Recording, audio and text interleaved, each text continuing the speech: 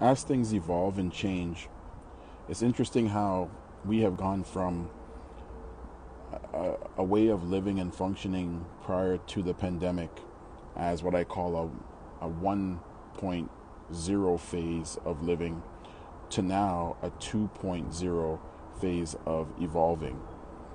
It seems as if, you know, every six months to a year, we're going to the 3.0 or the 4.0, and it's continuously happening.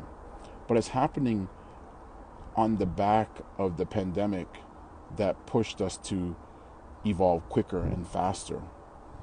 And when you start to realize that we're going through an evolution of experimentation, testing, trial, and error, while at the same time downsizing, companies are restructuring, layoffs are happening, as we can see here with LinkedIn. These are all clues for you to make yourself aware of what you need to do to be better prepared for this ever changing marketplace.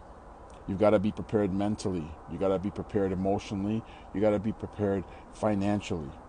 And you got to make sure that you put yourself in a position to know what your value proposition is and what skills you have in order to bring value to the marketplace.